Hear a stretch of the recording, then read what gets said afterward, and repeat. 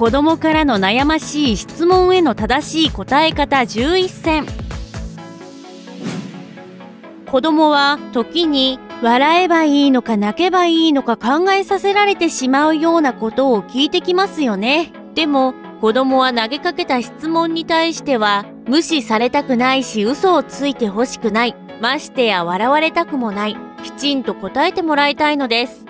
では、私たちがどの親御さんもきっと納得してくれる適切な答え方を伝授していきますよ。最後にボーナスも用意してありますので、お見逃しなく、お子さんの年齢を問わず、ご自分のお子さんへの理解を深めることができるはずです。あたし、どこから来たの？私たちからのアドバイス正直にそして大まかにお子さんには次のように答えてみてはいかがでしょうか。お互いに大好きだとキスしたりハグしたりするでしょ。パパはママに自分の細胞をくれたの。それがママの細胞と合わさって赤ちゃんがママの体の中で育ち始めるの。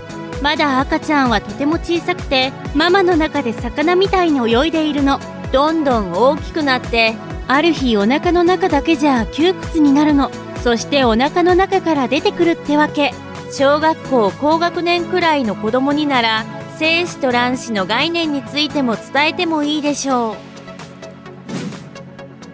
質問その10僕が大きくなったらママと結婚できる？ほとんどの子供が一番最初に異性に惹かれる時に出てくるのがこの質問です。優しくそれはできないのと言いましょう。その時言うのは次の言葉。家族のみんなにはそれぞれ役割があるの。お姉ちゃんはパパにはなれないしパパはおばあちゃんにはなれないでしょ。だからあなたもママの旦那さんにはなれないのよ。あなたが大きくなる頃にはママはもう年をとっているしまだ好きでいてくれるだろうけどきっと誰か若くて綺麗な子と結婚したくなるわ。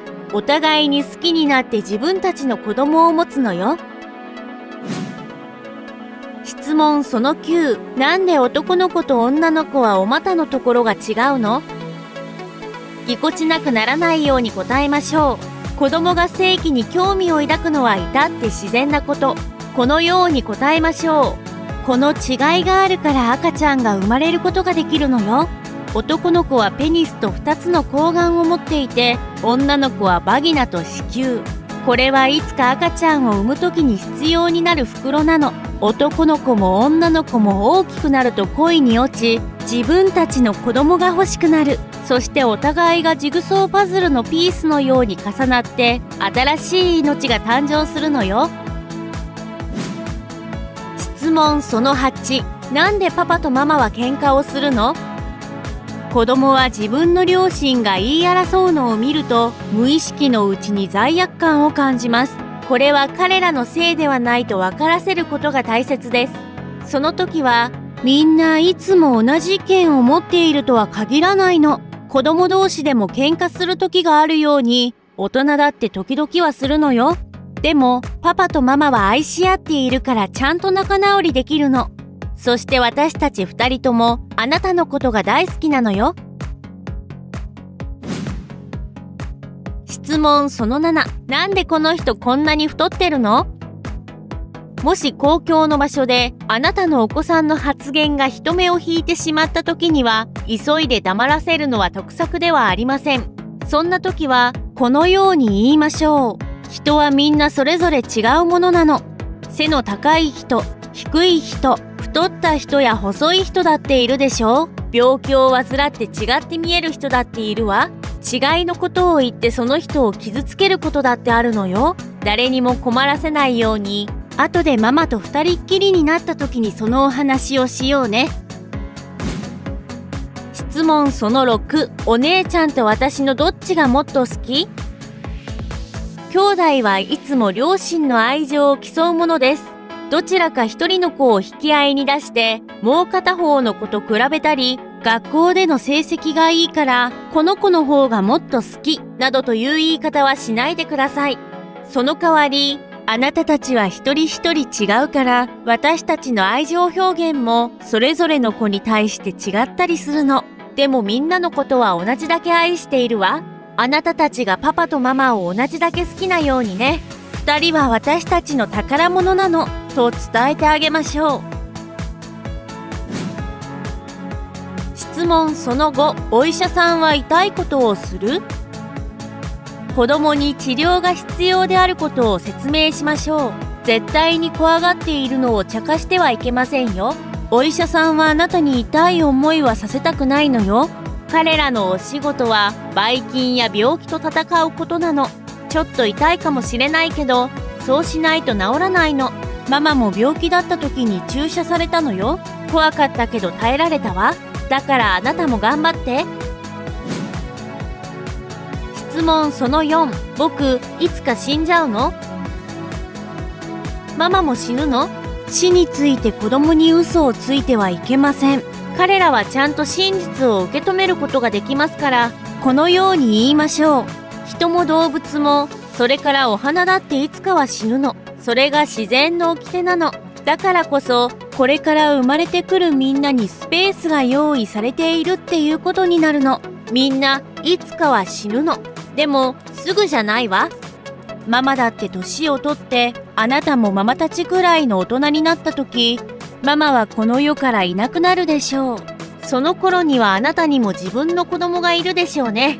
そして子供が大きくなってあなたも年をとって亡くなるんでしょうね。でもその前にあなたは冒険や発見に満ちた素晴らしい人生を過ごすことでしょう質問その3なんで僕を置いてお仕事に行っちゃうの？彼らに仕事はあなたがしなければならないことだと説明しましょう。そして帰ってきた時にまた会えるのがどんなに嬉しいかを伝えましょう。あなたと離れたくないわ。でも行かなきゃいけないの。それはどうにもできないわ。仕事は大事だからね。でもね、夕方に帰ってきた時あなたに会えるのがママはとっても嬉しいの。そうだ、交換っこしましょうあなたがママのブレスレットを持っていてママはあなたのおもちゃを持っていくわこうしたら離れていてもお互いのことが感じられるわね質問その2なんでママはいいのに私はダメなの？自分を理想的な親でないと認めることを恐れないで親がやっていること全部を子供が真似すべきではないことを理解させるのが大事です。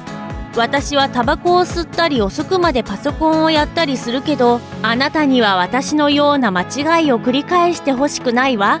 これは私の悪い習慣でもうやめようと思っていることなの。もっときちんとした人になりたいからね。質問その1ベッドの下にいる怪物に食べられちゃうかも子供の恐怖心を真剣に受け止め、どうしたら悪いことを良いものに変えられるのかを一緒に考えてあげましょう。このように伝えたらどうでしょうかその怪物のことをママに話してみて。怪物って魔法に弱いって知ってる？一緒に試してみようか。見て、これはただの古いリモコンじゃないの。秘密のボタンがあるの。わかる？これを押すと怪物消えちゃうんだよ。これベッドの横に置いておこうね。さあ。ここからがボーナス。子供の質問に答える時の共通ルールです。1子供は質問したこと以上の情報は必要としていません。簡潔な答えを心がけましょう。2質問の答えがわからない場合はわからないことを認めて一緒に答えを見いだしましょう3先生のような口調で上から目線で話してはいけません。馬鹿にしてもいけません。彼らの問いには真摯に取り組みましょう。4. 質問してきた動機についてよく考えてみてください。時々その質問は無意識に助けを求めていたり、何か恐怖心の表れだったりする可能性があります。動画を楽しんでいただけましたか？その時は評価ボタンのクリックをお忘れなくまた最近お子さんが生まれたお友達に動画をシェアしてあげてくださいね。ブライトサイドにチャンネル登録をお願いします。